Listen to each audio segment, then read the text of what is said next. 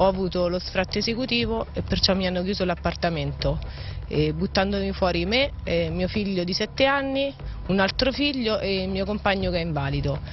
Quello che vedete è il municipio di Civitavecchia. Di fronte da 81 giorni ci sono 10 famiglie in emergenza abitativa che vivono all'interno di queste tende e hanno bisogno di una casa.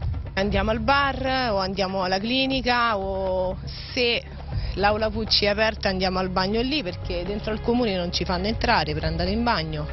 Lì c'è la fontanella dove la mattina almeno uno si può lavare il viso, poi quando si tratta di fare una doccia eh, ci sono le spiagge e uno cerca di andare lì. A pochi chilometri dal centro c'è la ex caserma De Carolis.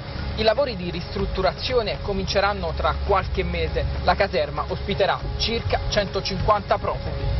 Il numero dei rifugiati potrebbe aumentare e sarà reso noto solo nel momento delle assegnazioni relative al nuovo bando. I cittadini però non ci stanno. A Civitavecchia, ci dicono, ci sono almeno 200 persone che non hanno un posto dove stare. Ma no, se non c'hai la possibilità, ma perlomeno un, un VC di quelli eh, da cantiere, per capirci, eh, lo vogliamo mettere queste persone, vogliamo, vogliamo, curare la dignità delle persone, delle famiglie. La famiglia è la base, la base della Costituzione italiana.